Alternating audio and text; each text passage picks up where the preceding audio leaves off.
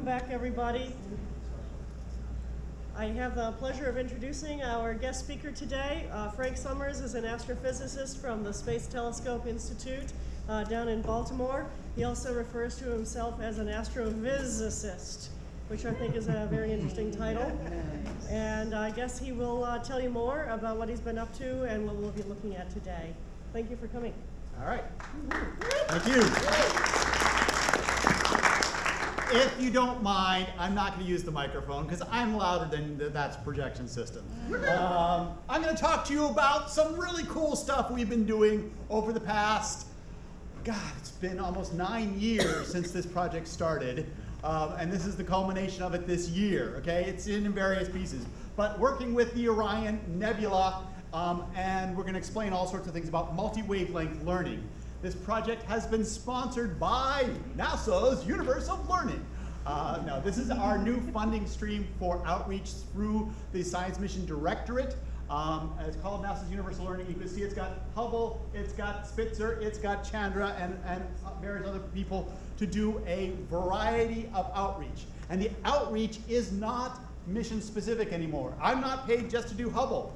I do Hubble, I do Spitzer, I do Chandra, I do all sorts of things, okay? And it's really the way outreach should be done, um, and thanks to them, we're able to do this. So, we're gonna talk about Orion, okay? And this is a wonderful uh, picture of Orion, but I really love is when you take the H alpha added in and you get to see all the gas that's in Orion, okay? What makes Orion special is not the stars, but all that beautiful gas. And this yellow blob right here, that's the most special one. That is the Great Nebula in Orion, or Orion Nebula, NGC 1976, if I remember correctly, okay? So this is a ground-based image.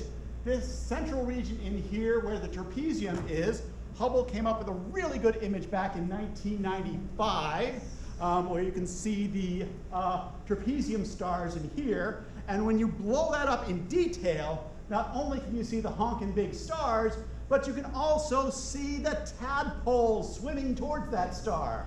Actually, no, that's not what they are. They are protoplanetary, they are stars in formation where the gas is being blown back by the big bad guy, Theta Orionis 1c, okay?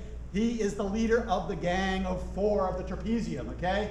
And we have all these proplyds all right, as we call them uh, in astronomy, which are stars in formation and the gas around them is being blown back like a windsock. And that makes it really, really cool. It also is cool that we've got these dark dust disks here in the bottom row where you can see the stars turning on inside disks. And in 1995 was the first confirmation that we got as astronomers that this idea that gas collapses into a disk around a forming star really is true. We actually saw it for the first time in this, these Hubble images.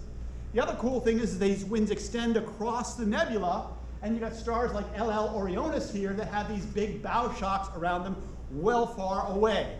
So it's the ionizing radiation and the winds from these massive stars that make Orion special. It's a really cool region.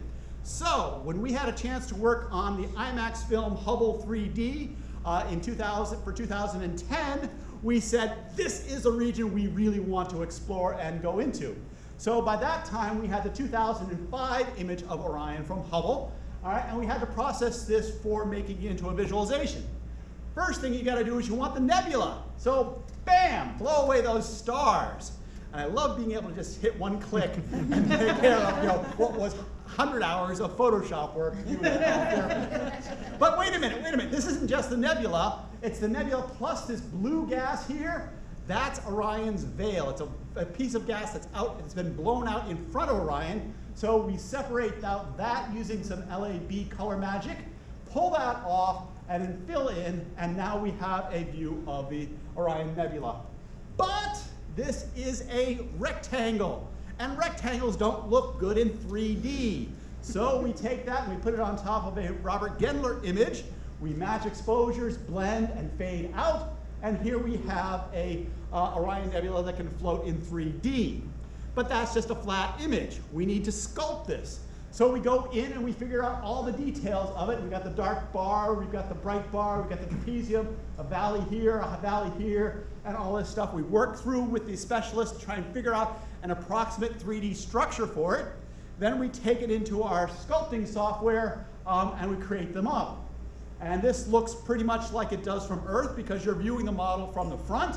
But if we take the camera down onto the nebula, you can see how we have that low valley here, the high valley here, the dark bar there, and you can see the uh, veil sitting up in front. That veil is, of course, just a piece of geometry with a surface texture put onto it, okay?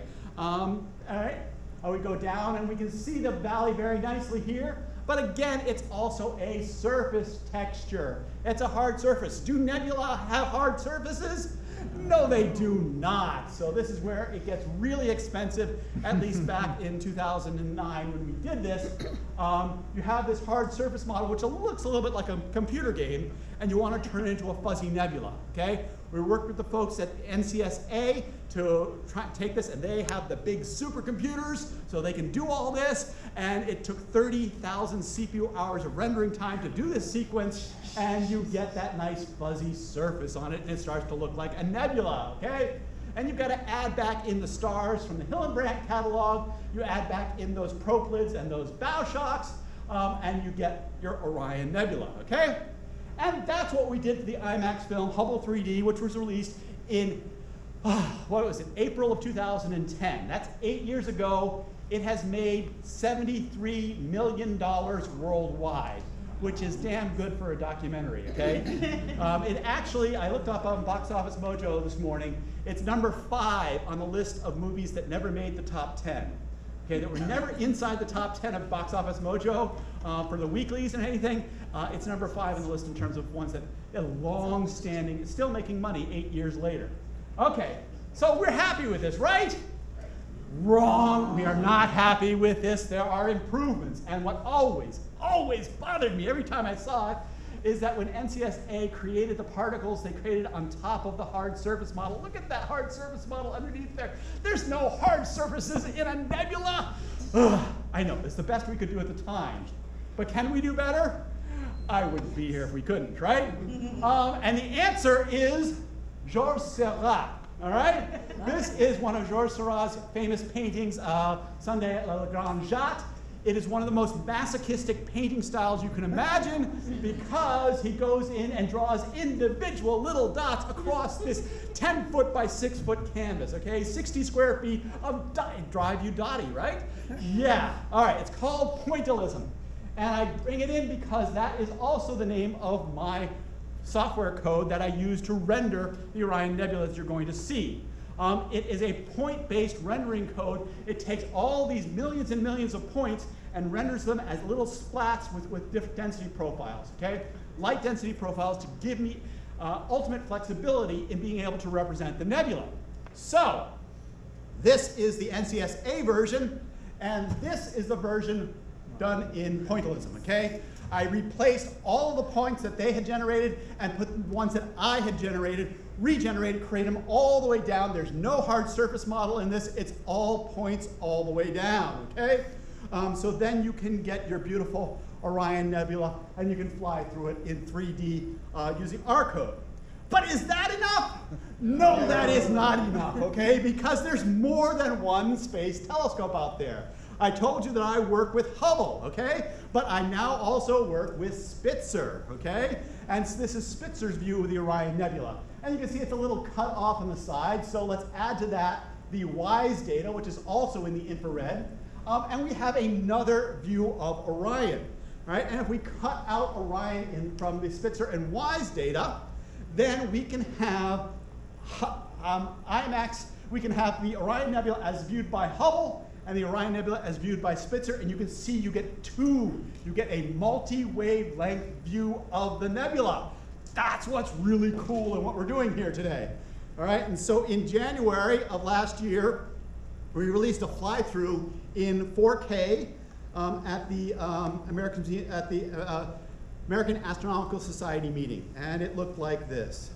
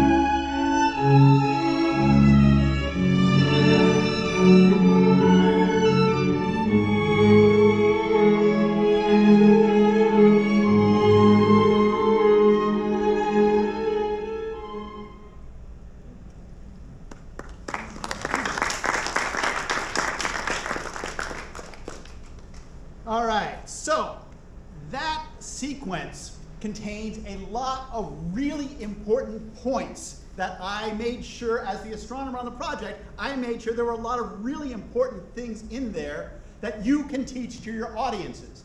But just watching it, you may not ca- caught them all. So, my whole rest of my talk is about how to interpret that sequence and how to show off the pieces that we're talking about uh, that, that are presented in a sequence like that. Now, the first part of it is a zoom, and I will admit we did not actually do this zoom sequence. The zoom sequence was done by the European Space Agency for a totally different project, but they had released the 4K frames out there, um, and I was able to, with their permission, grab them, pull them into our sequence automatically. So it starts from the full Milky Way, the gigagalaxy pan sequence, all right, comes through and you get to see the Orion constellation. Also, they included the H alpha, which is great, so you can see the gas stuff there. Um, and then pull down onto the Orion Nebula sequence uh, there. So you get to scale for what, how detailed uh, these Hubble and Spitzer images are. What a small piece of the sky. As you all know, it's really important for the public to understand that you know when they look at the sky, Hubble's really looking at that tiny little piece, and it's hard for them to imagine. And I love this zoom sequence because it puts it into their head. It's like the powers of 10 sequence when you first see that. You go, oh my God, it changes your perspective on things. Well, hopefully this sets the stage for understanding that we're looking at just a very tiny piece of the sky here. All right, the second piece um, is the 2D and the 3D comparison. So uh, we, you'll notice we, we start with the, the ground-based image, we pull out the Hubble view, invisible light, and the uh, Spitzer view in infrared, uh, giving you an immediate notification that, hey, things look totally different in different wavelengths of light. That is a much bigger nebula there. There's a lot more gas um, in there than there is here, right? Wrong. It's the, the gas is at a different, is, is there in both pictures, but it's at a different temperature. Whereas this takes the gas that's thousands of degrees, all right? The infrared captures uh, gas that's at hundreds of degrees, okay? So you're seeing gas at different temperatures, and of course the cooler gas can extend out to much further away from the heat source, which in both cases is these trapezium stars. The trapezium stars are basically the major stars that are responsible for heating this nebula, um, and of course in the infrared. Plus, what I love about the infrared is you can see the full bowl of the nebula, okay? Um, a lot of the understanding of nebula can be done by thinking about temperature and pressure, okay? So if we have the high temperature and pressure here, that flows out this direction, pushes away the gas. You can see we almost have some pillar-like stuff here on the right-hand side, okay? You can see the flow, and it fills sort of this bowl shape of the nebula, okay? So you get that understanding when you, you well, I don't know if you get that understanding. You can, you can get that understanding by seeing the infrared. I don't think it's easy as easy to explain. You can sort of see the bowl here, but it's not complete as it is in the infrared. All right? And then we take, that's a 2D comparison. Um, then, oops, I'm sorry, I, I could have gone to this when I was talking about that. Uh, all right, I already talked about that. Next, now we go to the 3D, okay? And so without moving the camera, I show you the 3D model of the, of the visible light version of it, okay, where you get, which sets you up, and then you can see experience in 3D the much larger region of the Orion Nebula of, of, uh, in infrared. So you start to see, see what it looks like on the sky, and then you translation over to the 3D, which sets you up, of course, for the fly-through.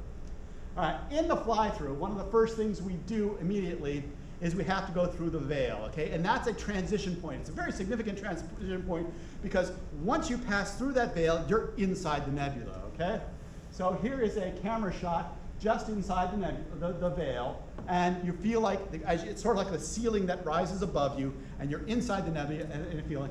But it's important to know that, again, that same pressure thing is that the gas that was on the front side of that nebula, some of it got pushed away and became this veil okay? Where some of the gas got eaten out and ionized, et cetera. Some of the gas in the front got pushed away by the pressure and created to have this veil in front.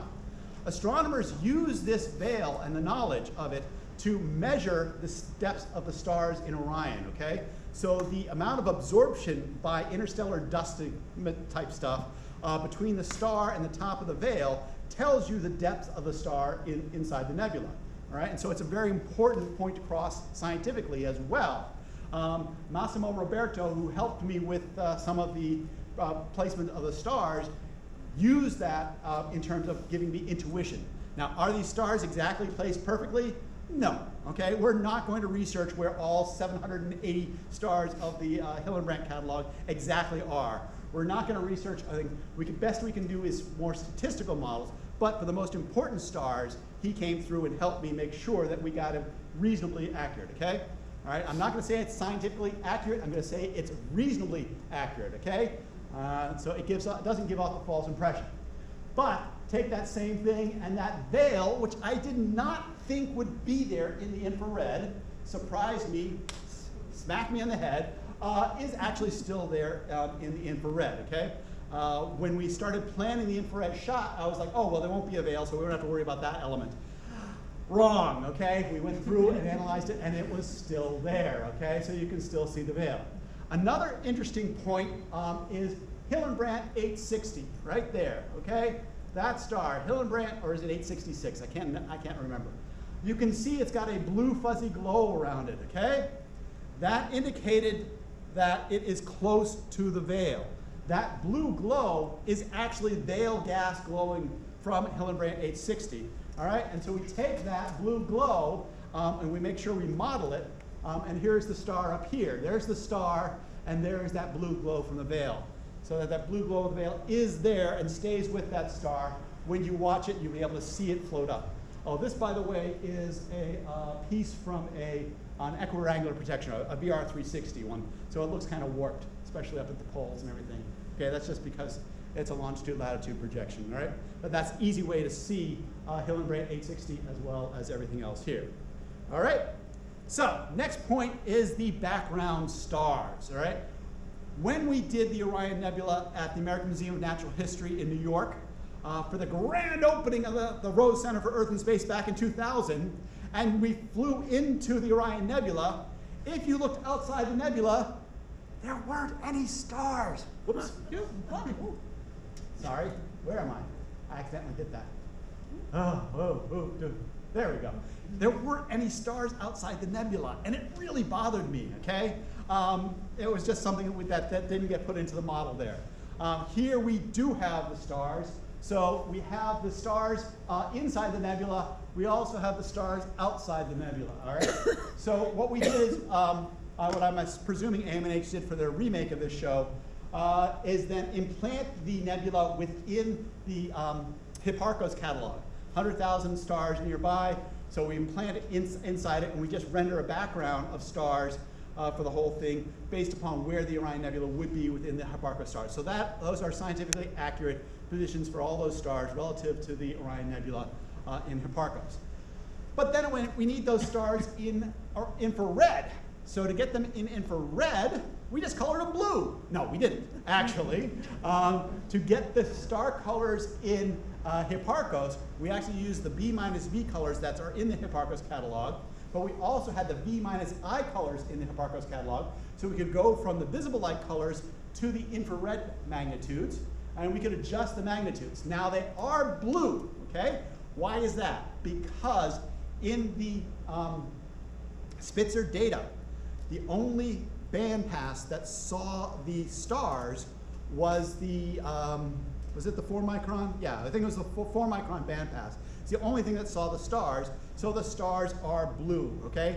This is not trying to represent the stars as they would be seen in a general infrared, but as in the Spitzer band passes that they use, the 4 micron, the 8 micron, and the 20 micron that were used to create that image, okay?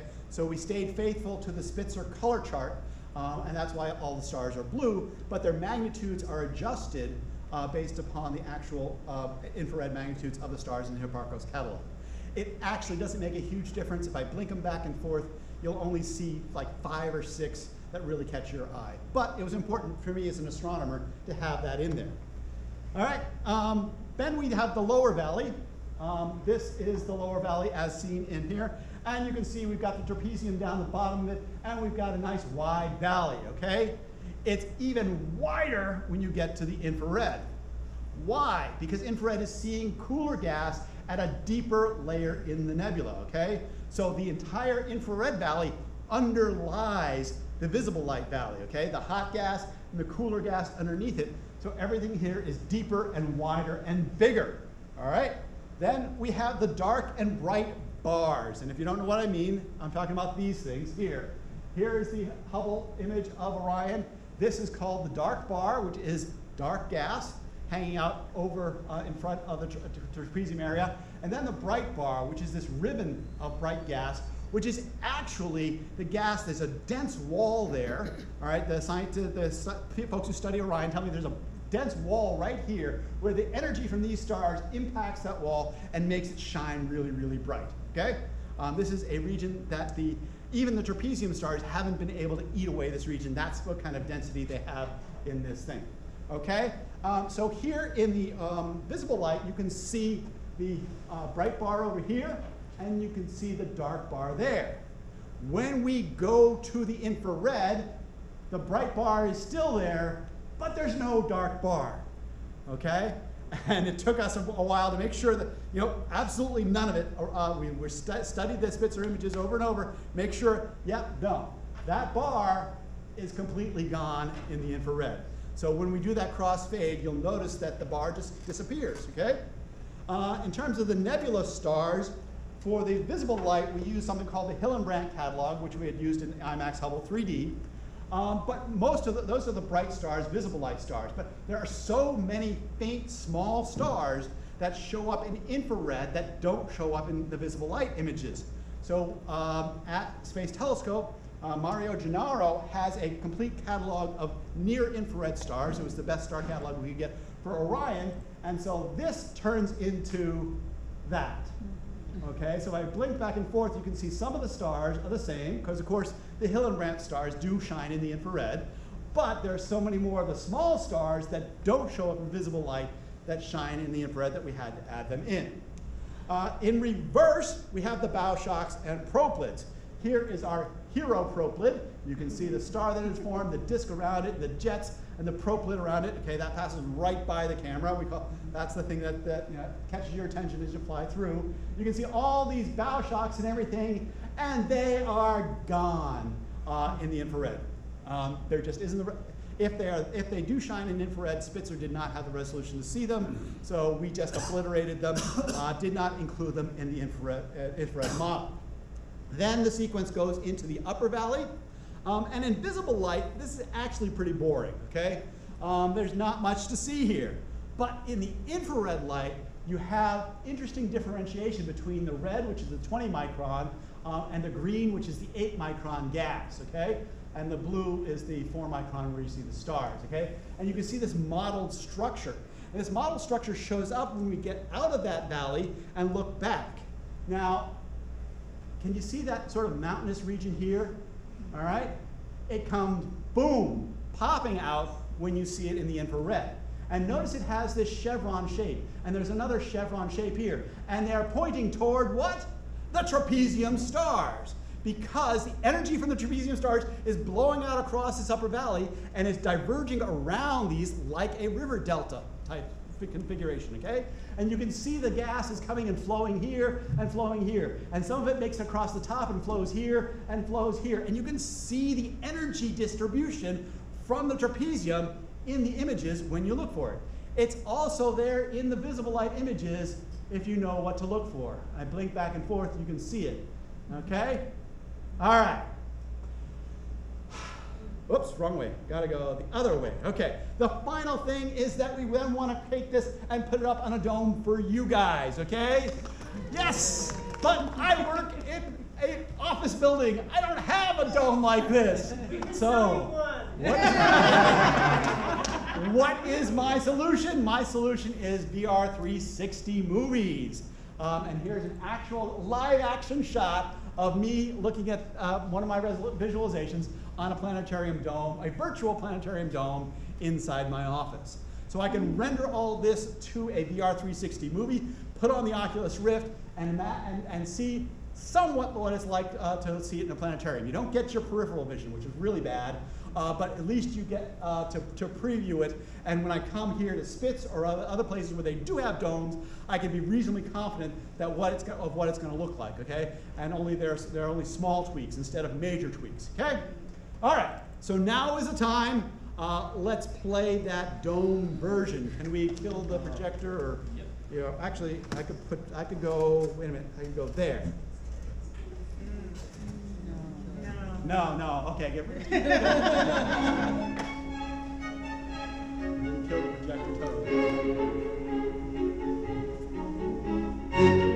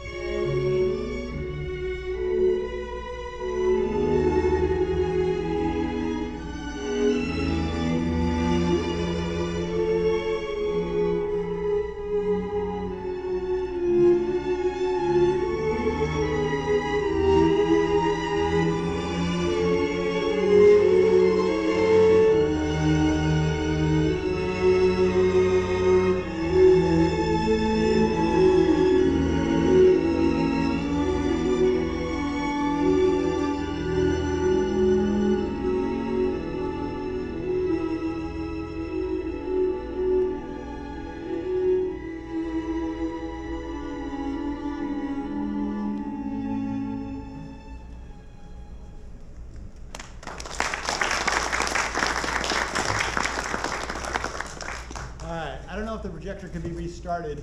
Give it a couple Um, seconds. Great, uh, it'll take a while for it to come up. Whoops, it's uh, reconnecting to my.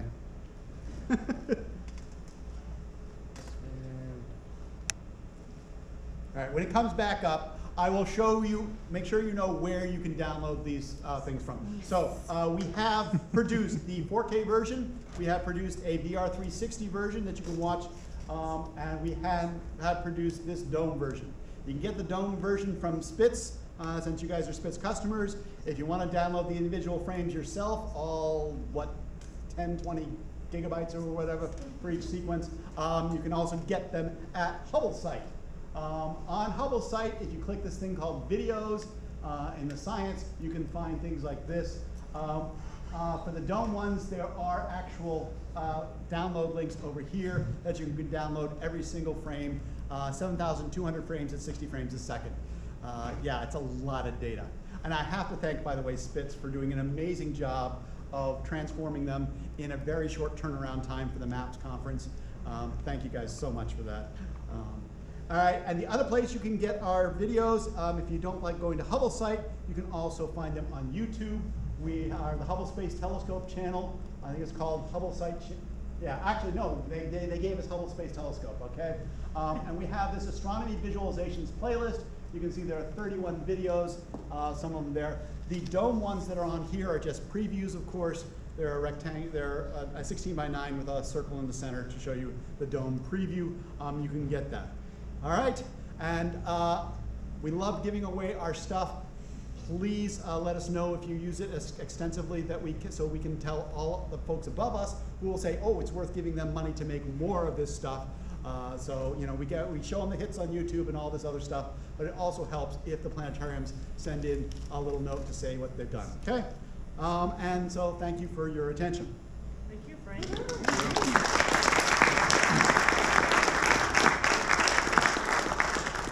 if people have questions for you, should they come and see you like they're at the front of the room, uh, so that we can also do our next transition? Okay, why don't you guys do the transition? If you guys have questions, come on up here. I'm happy to answer. Excellent, thank you. And that uh, rendered sequence is gonna be on the flash drive that you'll walk out here with. Oh, and by the way, the dome version is available as visible light infrared as you just saw, visible light only, and infrared light only. Okay, so you got three versions. So if you want to take your audiences through each of them separately and then pull them together in the combined one, um, that's also a very good educational type of thing to And do. you're, you're getting all three. You're getting all three? Whoa, you guys are good. What resolution?